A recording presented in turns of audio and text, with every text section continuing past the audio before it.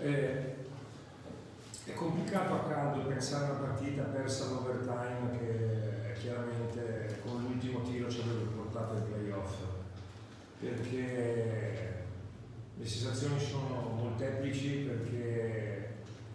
mm, bisognerebbe avere anche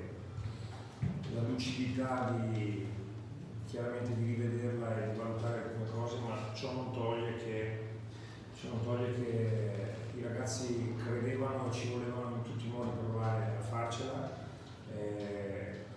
hanno iniziato la partita completamente, credo come avete visto, veramente tesi, sbagliando alcuni tiri, sbagliando alcune cose, delle palle perse, ma questa è una cosa abbastanza normale per l'importanza della gara. Ho cercato anche alla fine del primo tempo di tranquillizzarli di quello che stavano facendo, abbiamo iniziato di nuovo bene, siamo arrivati poi nel momento importante più 8, abbiamo sbagliato dei tiri facili da sotto, siamo arrivati a più 10, queste sono le cose un po' che mi ricordo e, e credo che nel momento in cui siamo arrivati a più 10 abbiamo assolutamente uh,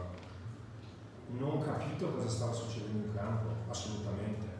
nel senso che abbiamo fatto dei tiri da 3, da 8, 9 metri, quando in quel momento potevamo attaccare e continuare ad andare a tirare da sotto, mettere la palla dentro, eravamo arrivati a, a 10 punti in quel modo lì, abbiamo preso dei tiri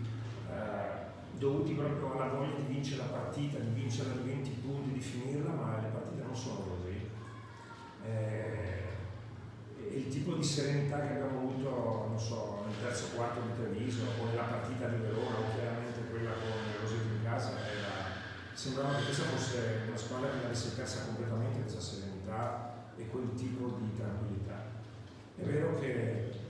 molte volte quando siamo arrivati a un bivio per fare una cosa importante, per riuscire a fare una cosa importante, sembra quasi che alcune cose ci schiaccino di tensione e, e quindi è, ovviamente una sconfitta molto amara, eh, non, ci sono dubbi. Allo stesso tempo, allo stesso tempo dobbiamo ritenerci, se ci riteniamo sfortunati per alcuni tiri, canestri da tre a metà campo, buzzer beater, cose così, dobbiamo anche ritenerci fortunati secondo me eh, perché abbiamo un'altra, un'altra partita sabato sera. Eh, I risultati sono stati